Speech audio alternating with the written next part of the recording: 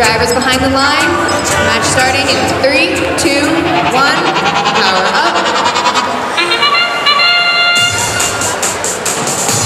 Blue Alliance dropping off cube onto their switch. Red Alliance 5406 is dropping cube off their switch. And the Simbotics successfully dropping off their second switch. The scale is tipped in Blue Alliance's favor. Blue Alliance scoring a little bit higher of the zone as all these robots jump into action. 5406 trying to balance the scales. Well, 1114 Simbotics loads up another cube and drops it off to their platform, still keeping that scale in favor of the Blue Alliance. 6917 fires another power cube through the portal as they start to get ready to boost. 7176, whoa, a little bit of bubbling and jostling there. 5406 has got another cube loaded up, elevated, and dropped onto that scale.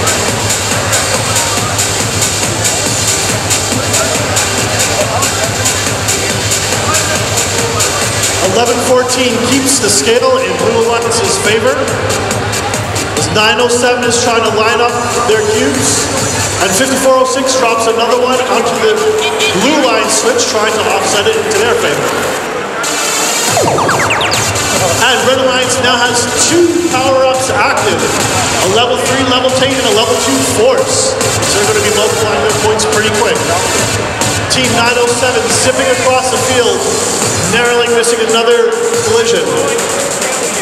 Trying to tip their switch back to even. Hopefully they'll be able to get another cube. While the Blue Alliance flips their switch back into their favor.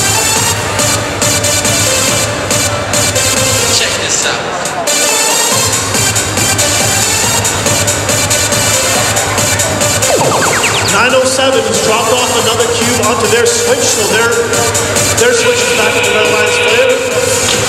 favor. We're back into the last 30 seconds. It looks like we might have.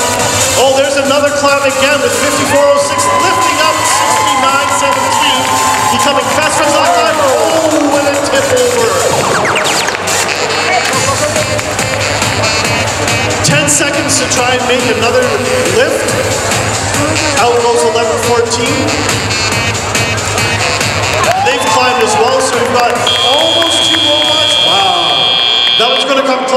blue line side. We'll leave that one to the judges, but another double climb by 5406.